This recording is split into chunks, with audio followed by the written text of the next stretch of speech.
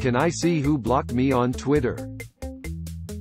Well there is no way to see like a consolidated list or something of people who have blocked you on Twitter.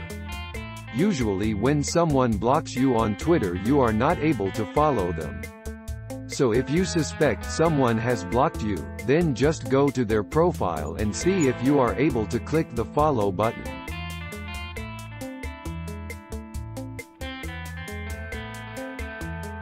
Thanks for watching. Please subscribe.